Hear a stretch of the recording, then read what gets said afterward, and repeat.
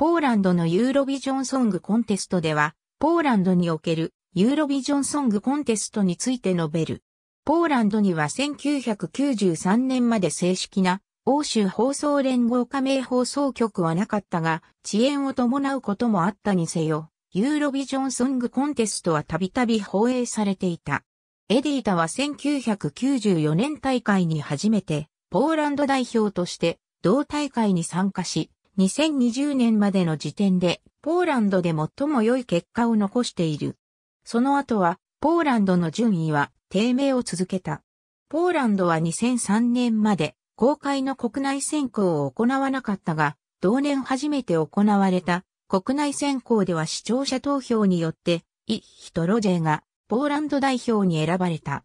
2005年には再度ポーランドテレビでの内部選考に切り替えられた。チャーナ・ジュチャイナはポーランド語とロシア語を織り交ぜた二言語による歌詞の楽曲であった。2006年、公開での視聴者投票が復活した。イヒトロジェが再び視聴者投票で首位に立ったが、2003年大会でのユーロビジョン大会7位のような好成績を再び出すことはできず、準決勝で11位となり敗退した。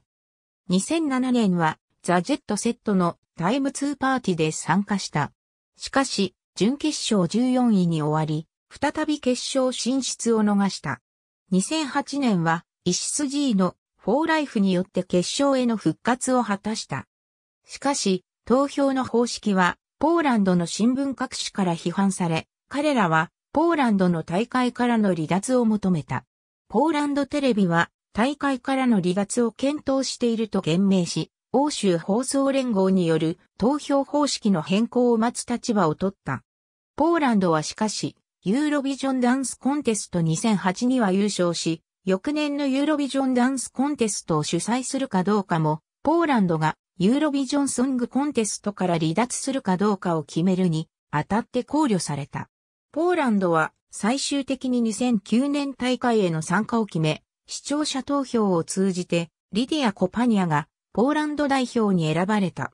ザ・ジェットセット、ヘルシンキでの2007年大会にて、イシス G、ベオグラードでの2008年大会にて、ポーランドから高得点が送られた国々、ポーランドに高得点を送った国々、得点の合計は決勝の時のもののみであり、準決勝のものは含まない。ありがとうございます。